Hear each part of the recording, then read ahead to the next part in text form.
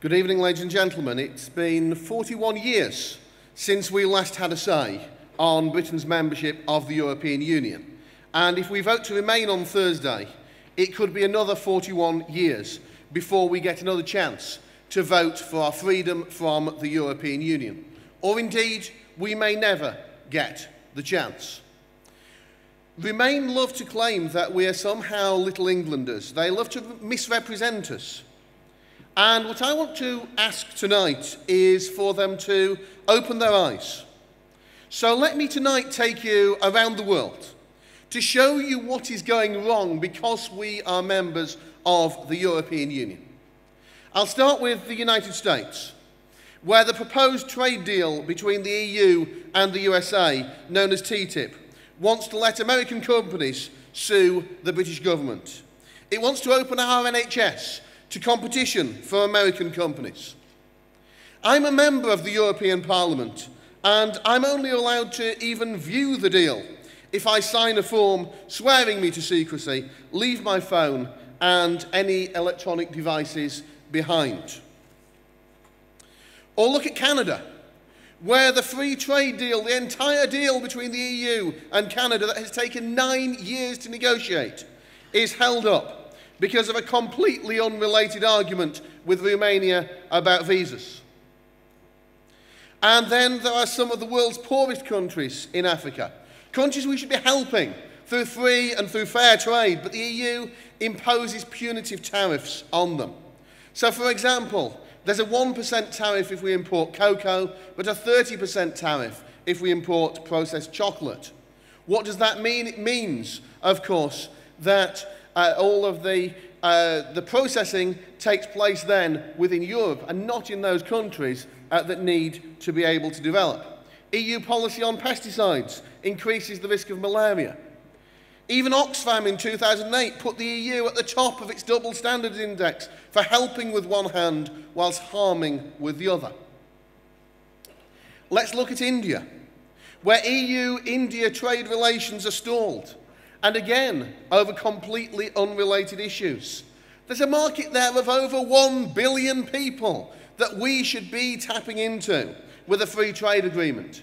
But we can't. We are powerless because since 1975 in this country, we cannot negotiate our own trade deals. We have to wait for the EU Trade Commissioner to do it for us.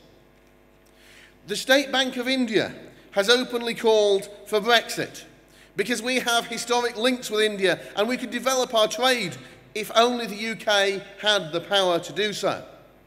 Let's look at China. Even Iceland, a tiny country with a population the same as Newcastle, has a free trade deal with China, but we don't. We can't. We're not allowed to negotiate our own deals. Or South Korea and Australia, which have the kind of trade deals that Remain tell us we could never get with mutual recognition of standards.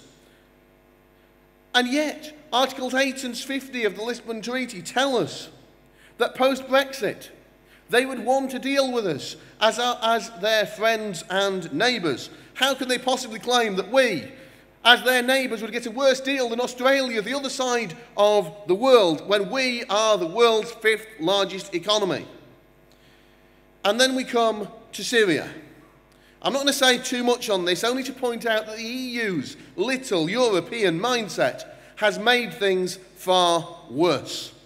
The most vulnerable people are in the refugee camps in Jordan, in Lebanon, and in Turkey, but the Commission opened the doors with no plan to hundreds of thousands of people, creating the conditions for people trafficking, for suffering.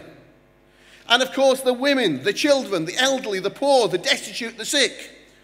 Those in the refugee camp struggle to get help, whilst those with the money to pay smugglers and generally able bodied young men can get to uh, Europe very easily. Uh, what about Greece, the country ravaged by debt, whose Prime Minister was forced to resign by the European Union? The EU's troika imposing unprecedented austerity, and they are suffering unbelievable levels of unemployment. Or indeed Italy, whose Prime Minister was also forced to resign for very similar reasons. We've seen the result of the EU botched foreign policy in the Ukraine, which provoked Russia and caused problems there. Everything, everywhere that the European Union touches, turns to dust.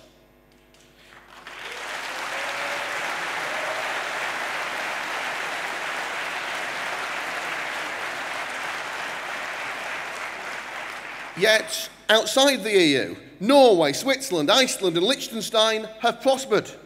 Hang on a second, we are more than four times the size of those four countries put together. Of course, we'll get a better deal than them, but Remain is telling us that is impossible. But you know what, ladies and gentlemen? The country I really want it to be like is none of them.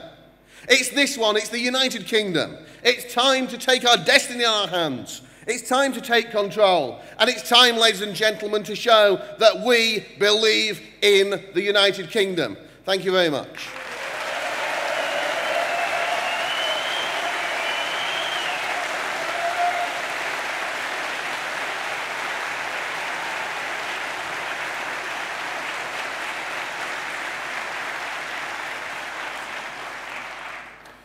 Our next speaker tonight needs no introduction.